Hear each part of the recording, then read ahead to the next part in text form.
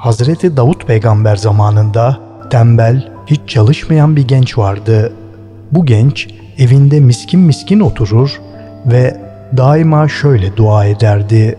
Ya Rabbi ben tembelim, çalışma isteğim yok. Sen benim rızkımı zahmetsiz, eziyetsiz olarak ver. Ya Rabbi ben senin ihsan ve cömertliğine sığınıyorum.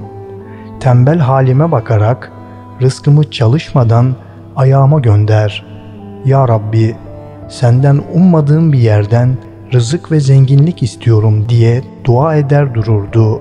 Yüksek sesle dua ettiğinden evinin önünden geçenler onun bu yaptığı duaya gülüp ona hiç çalışmadan zenginlik olur mu? Rızık kazançla, zahmet ve meşakkatle elde edilir. Herkes bir iş yapar, rızkını öyle elde eder. Rızık ancak sebeplerine yapışılarak elde edilir. Bak, kral ve sultan olan Davut peygamber bile Allah'ın Resulü olduğu halde çalışıyor. O zırh yapıp zahmet çekmedikçe rızkı gelmiyor. Sense onca fakirliğine rağmen evine kapanmış, ticaret yapmadan eteğini karla mı doldurmak istiyorsun diye onunla alay ederlerdi. Tembel gençse halkın onca kınamasına, alay etmesine hiç aldırış etmez, dua ve niyazı azaltmazdı bile. Tembel gencin durumu çok geçmeden tüm şehre yayıldı. Boş ambarda peynir aramakta diye şöhret buldu.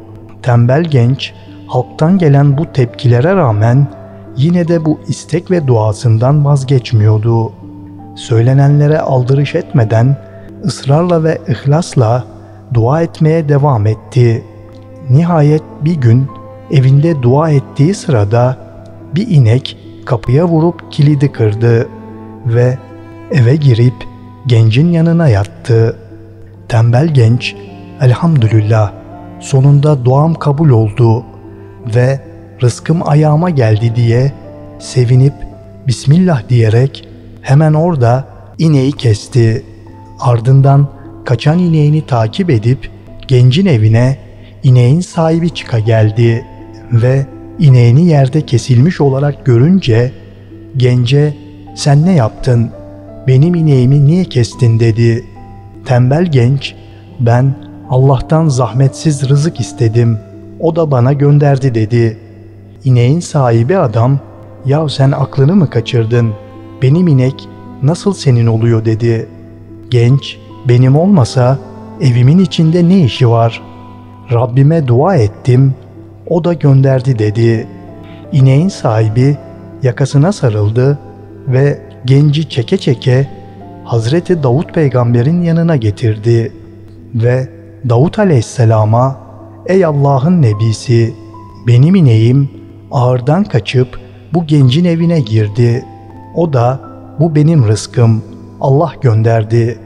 Deyip ineğimi kesti, şikayetçiyim dedi. Davut aleyhisselam gence bu adamın dedikleri doğru mu dedi.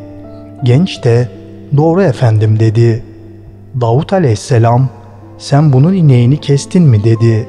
Genç kestim dedi. Peki ineğin parasını ödeyip satın mı aldın dedi. Genç hayır efendim dedi. Davut aleyhisselam peki bu inek sana miras mı kaldı dedi.'' Genç hayır dedi. Davut aleyhisselam bu sefer de bu adam bu ineği sana hibe mi etti diye sordu. Genç yine hayır efendim dedi.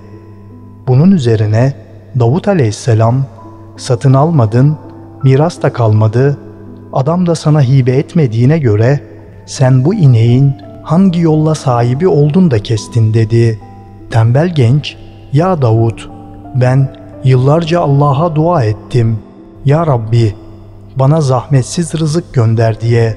O da duamı kabul edip bana rızkımı gönderdi dedi. Davut aleyhisselam ya böyle şey olur mu hiç? Senin bu savunmanı kim kabul eder dedi. Tembel genç Davut aleyhisselamın azarlamasından hiç etkilenmediği gibi davasını savunmaya devam edip Ya Nebi Allah sen de mi böyle düşünüyorsun dedi. Davut aleyhisselam gencin halinde suçluluk, pişmanlık olmayışına ve rahat oluşuna şaşırdı. Davut aleyhisselam bir tarafta ortadaki delillere ve şahitlere baktı. Diğer taraftan da çocuğun samimiyetine ve kendine olan özgüvenine baktı. İşin içinden çıkamadı. Aslında bütün olanlar zahiren bir hüküm vermek için kafi olduğu halde Davut aleyhisselam bu işte bir hikmet olacağını düşünerek bu davayı yarına erteledim. Şimdi gidin dedi. Davut aleyhisselam bütün deliller tembel gencin aleyhine olduğu halde gencin kendinden son derece emin tavırlarından etkilendi. Mescide giderek Allahu Teala'ya müracaat etti ve "Ya Rabbi, bu işte hüküm vermede aciz kaldım. Bana yardım et.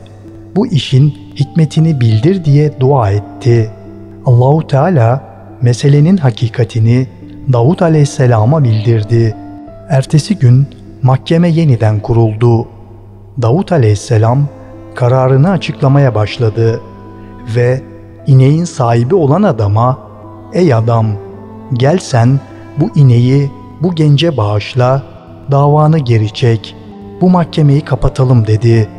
Adam bu benim ineğimi haksız yere kesmiş ve bana bedelini ödeyecekken, hakkımı alıp bana verecekken sen bana bir de ineği mi bağışla diyorsun?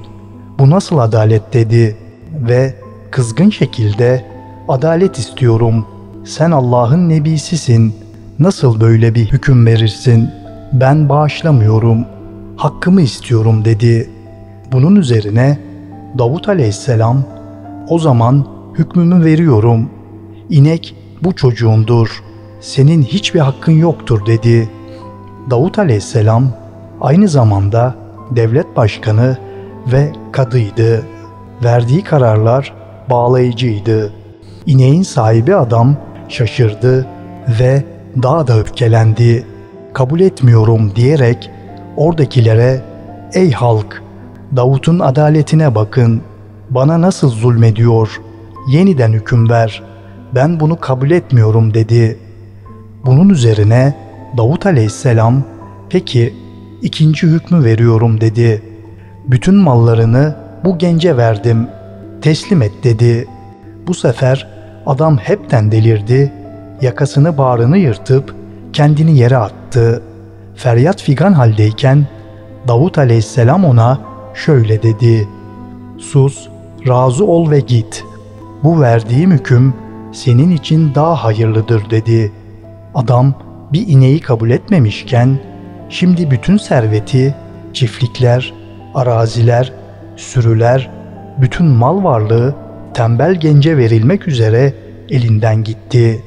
Adam yine ben adalet istiyorum, kabul etmiyorum dedi. Bunun üzerine Davut aleyhisselam girin bunun koluna deyip yürümeye başladılar. Mahkeme yerinden epey uzaklaşıp bir çayıra bir ağacın yanına geldiler. Davut aleyhisselam kazın şurayı dedi. Kazdılar ve bir cesetle bir bıçak çıktı. O ceset tembel gencin babasına aitti. Davut aleyhisselam işin hikmetini açıklayarak bu ineğin sahibi olan kişi bu tembel gencin babasının yanında kahya olarak çalışıyordu. Bu adam onun mallarına el koymak için onu haksız yere öldürüp buraya gömdü. Bu tembel genç o zaman henüz küçük olduğu için onu da evden gönderdi ve adamın malı mülkü neyi varsa üstüne kondu ve cariyeleriyle de evlenip çocuk sahibi oldu dedi. Davut aleyhisselam bunun üzerine kısas yapılmasına hükmetti ve adam orada kısas yapılarak öldürüldü ve bütün mallar gerçek sahibine bana rızkımı ve zenginliği çalışmadan ver diye dua eden tembel gence verildi. Videoların devamı için kanala abone olup bildirimleri açmayı unutmayın.